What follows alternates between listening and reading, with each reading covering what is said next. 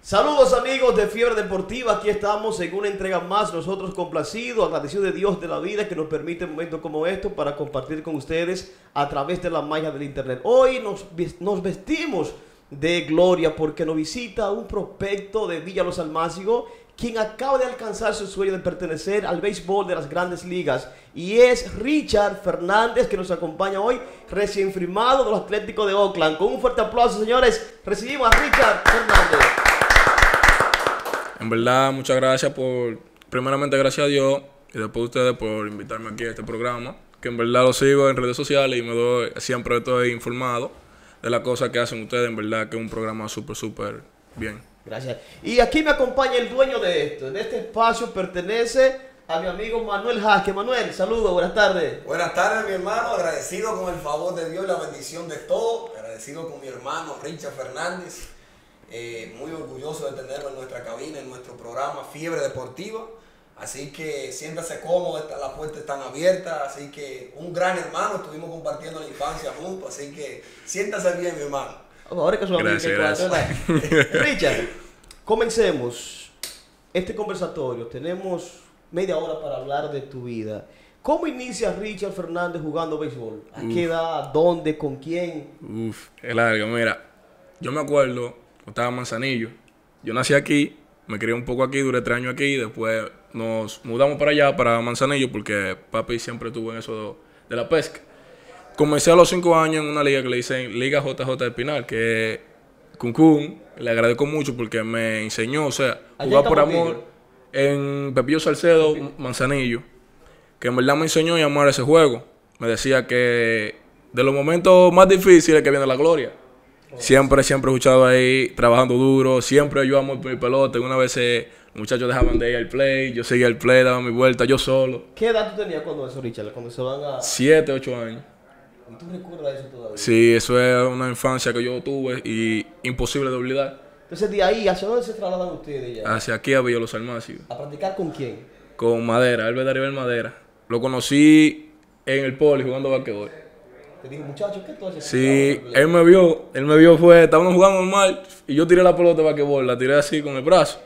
Y ahí se me acercó y me dijo, mira, ven acá. Y tú juegas, tú jugabas pelota antes. Y yo, sí, ¿qué posición tú jugabas? Y yo, sí, hoy. Sí, que puedo ver play ahí al fondo, vamos a ver. Pues yo, está bien. Yo hablé con mamá y papá. Y dice que, ¿estás seguro que te gusta el play? Y yo, claro, papi, vuelve. Sí. Y fui allá, entonces practicó siempre y eso. Me o sea, veía madera, de ahí. O sea, madera fue un instrumento tuyo aquí en Villa Los Hermanos. En Villa Los Hermanos yo le doy a él y a Jorgito López. O sea, ah, ¿qué, ¿qué, influyó Jorgito López también? Uf, me, me importó mucho en la proteína. Dice, mira, la puerta del gimnasio a ti está abierta, no tiene que darme nada absolutamente nada, tú eres mi hijo. Y aquí estamos luchando todavía. ¿Cuáles son tus padres, Richard? Rafaelina Fermín Díaz y Rafael Rafaelo Fernández Ureña. ¿Tienes hermanos? Claro. Tengo a... eh, cuando, a qué, cuando tú inicias ya a proyectarte como un prospecto para buscar una firma para el béisbol de, de América? Uf, ya a los 17, madre me decía que nunca perdiera la fe siempre estaba haciendo trayado, entonces ahí fue que vino la pandemia, pero yo no bajé la cabeza. Viene la pandemia, ya estaba haciendo trayado, me estaban dando seguimiento muchos scouts, uno de Boston, me acuerdo como era mismo, de Boston, de Lomé. Siempre me estaban dando seguimiento ahí, escuchando, yo siempre ahí con mi potencial del tiempo en el alto, sin perder la fe. Vino la pandemia, ya con 17 estaba yo ya a una velocidad que proyectaba. Entonces vino los 18, ya... Es la cosa cambia. Sí, ya alguna persona del entorno, te sabe, que dejara eso, que ya tengo una edad vieja. Y yo no, yo no le hacía caso a eso. ¿Cómo respondía a eso, Richard? Digo, yo, yo me le quedaba callado. En ese entorno yo me le quedaba callado porque... Herida, no lo exactamente, me, irían, me irían, ¿sabes? Porque son personas que yo nunca pensaba que me iban a decir eso, ¿te entiendes? Y yo seguía mi camino normal, me decían que yo estaba loco ya, ya con 19, me acuerdo yo. 19 me dijo un hombre en el parque. Se di que y todavía tú, tú crees que tú puedes firmar. Digo yo, ahí yo le contesté. Digo yo, mi futuro está en la mano de Dios, no en la boca suya. Entonces ahí como que echó un poco para atrás. O sea, tú agradeces a esa persona que te... Exactamente. exactamente. sí, porque mi papá siempre me, me, decía que de palabra necio y lo solo, que es como el caballo de carrera, mira siempre fijo, la mirada siempre fija en un propósito que tú quieres llegar. Entonces de ahí yo me guiaba. Entonces ya a mis 19 años, cuando... Antes de firmar, yo estaba aquí, ya yo estaba desencantado. Ya yo estaba que no quería tirar una pelota. Una semana vine, me di en vacaciones de allá, de la academia, de la Alianza Javier, en, aquí en Semana Santa. Yo me quedo otra semana más. Yo no quería ya, ya mi papá me dijo de que, ¿tú estás seguro que te quieres rendir? Yo, sí, papi, ya yo no puedo. Entonces viene Peña, que le agradezco mucho también, ese con mi papá, baja y me dice de que tú te vas el, sábado, te vas. Yo, no, Peña, yo no quiero jugar. Dice de que sí, tú te vas el sábado. Yo, no, Peña, yo no voy a jugar. Dice de que después de la lucha que tú has cogido, el sudor y el sol caliente a las 12, tú ahí tranquilo, allá en el play, afanando con goma, haciendo ejercicio. Entonces yo caí. Oye, yo voy a hacer una oportunidad Vamos a más. tirar el último tiro. Claro. cámara. Digo yo, bueno, papá Dios, que sea tú, no yo. Ficha, mira, yo jugué béisbol también a buen nivel. Y se pasan muchos momentos de amargura. Tú lejos de tu familia. A veces nosotros que venimos de clase de abajo, de, de- de- de- de la tierra, se nos hace un poco más incómodo. Eh, de esos momentos que tú recuerdas que, pasaste hasta hambre, ¿cuáles fueron esos momentos más difíciles que tú enfrentaste buscando una firma? En Moca. En Moca, me acuerdo yo que decían que le traía a las 7. Todavía era las 2 de la, de la tarde, yo tenía que ir a la pensión y alguna vez a la pensión uno tenía que cocinar uno mismo, porque tú sabes que alguna vez a, a palo, como dice. Yo hacía mi arroz nomás, madera me mandaba, yo iba entonces al play de nuevo. O sea que no era tan difícil, pero tampoco tan fácil. Ya la cosa ahí sobró un poco. Me acuerdo yo una vez que me mandaron solo. Yo no sabía viajar tanto, porque yo al fin y al cabo yo viajaba con mi mamá y mi papá. Yo no sabía viajar tanto. Una vez del Seibo, ya yo estaba instalado en otra academia. En el del Seibo, bajé a la capital y me perdí. Anda. Me perdí. No tenía teléfono, o sea, el teléfono yo tenía, pero no usaba chip. Yo me perdí ahí. Yo pasé un susto mayormente que yo pensé que ya me perdí. si me firmaron de verdad. Digo yo, aquí sí. Ahí yo tuve que dormir, me acuerdo yo una vez, que eso no lo supo ni madera, ni mami, ni nada. Yo tuve que dormir, me acuerdo yo en la parada, pero yo me metí como para el baño. Y ahí me quedé, yo echaba así, me dormí, fui, me había despertado. Entonces, hasta que llegara la guagua, pues yo irme aquí a, a Villa. Wow. Fue algo difícil.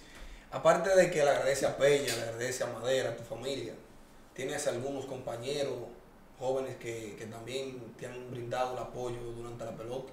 Sí, mucho. Mira, ahí está el zurdo de aquí, de Jigüero. De Jigüero. Está Manauri. Manauri es mío, Manauri es mío. Manauri me donde quiera que me veía me decía, di que, hey, para tu casa. Y yo, bueno, está todo, fui para mi casa. El mudo también. Muchos compañeros míos que me animaban.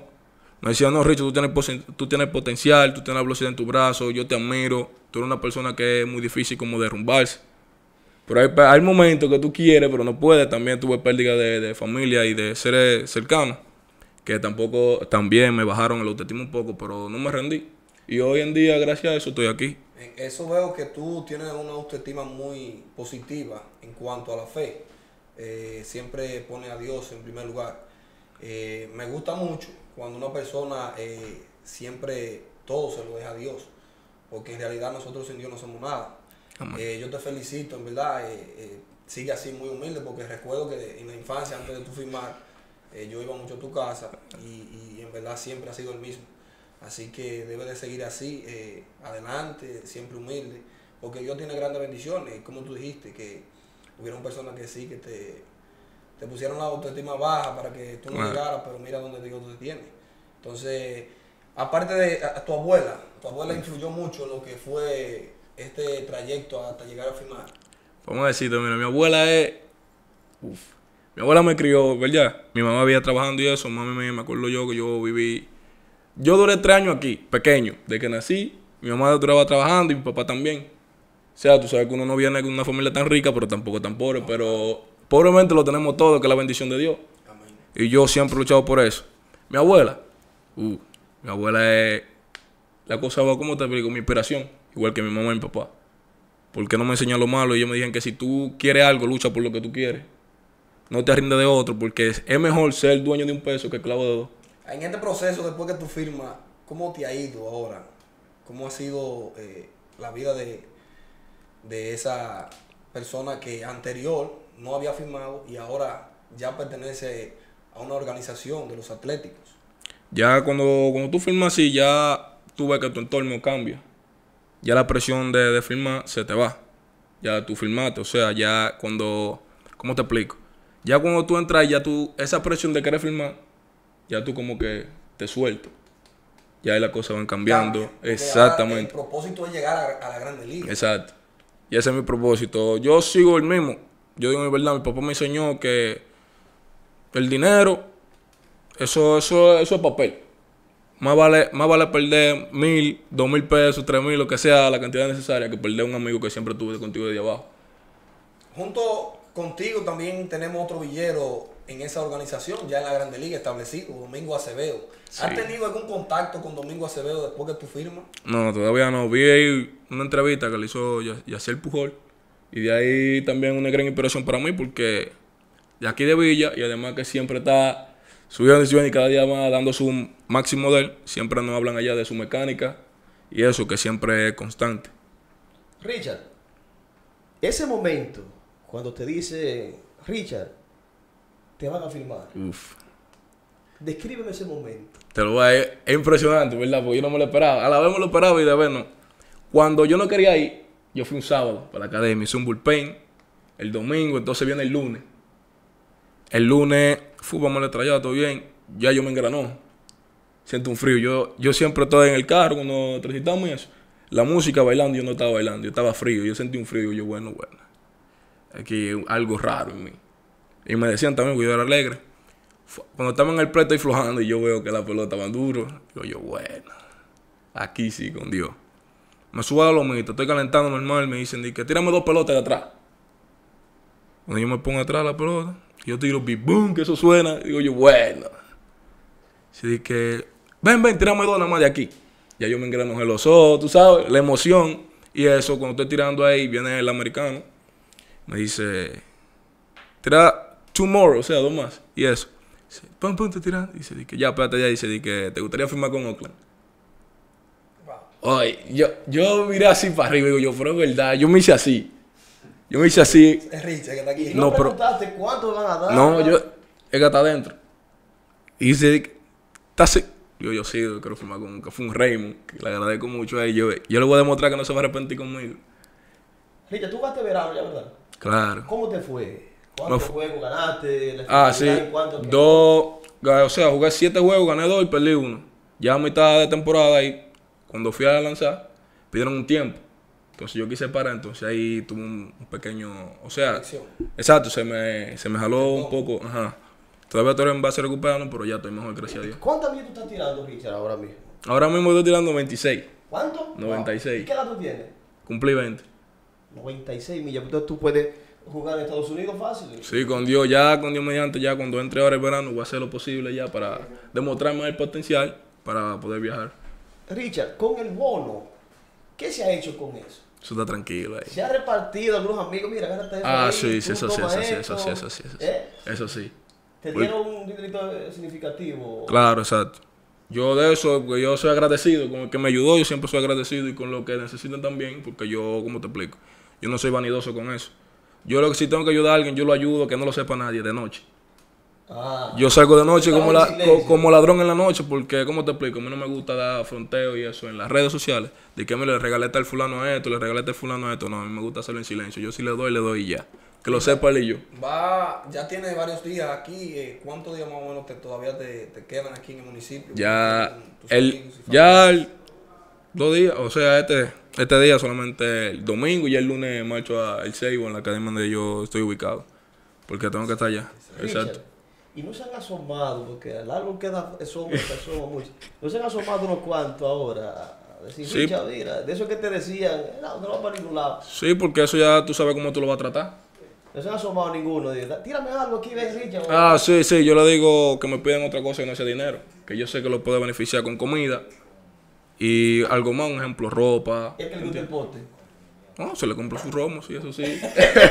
eso sí, eso es normal. Eso lo puede tomar cualquiera. Bueno, señores, Eh, Richard, mira, antes de despedirnos, yo quiero invitarla a toda nuestra gente que acompañen a nuestro artista del pueblo, Rami Torres, en el Samán. Eso es el sábado 22 de octubre, que estará Rami Torres, Secreto y King of Feeling. Eso es en el Samán, eso en Santiago, en la avenida Antonio Guzmán, Corona, eh, Plaza Corona, ¿verdad? Santiago. Así es que denle para allá, que ahí estará el artista del pueblo, Rami Torres. Despide, Manuel Jaques. Nada, agradecido con Richard Fernández aquí en Fiebre Deportiva, hermano. Un placer. Agradecido con Dios porque nos ha permitido ver un villero más, firmar.